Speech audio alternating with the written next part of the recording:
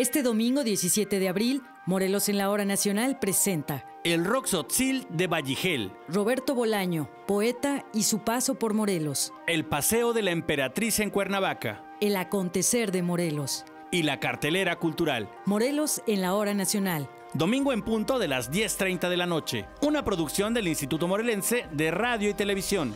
Escúchalo en estas emisoras de radio.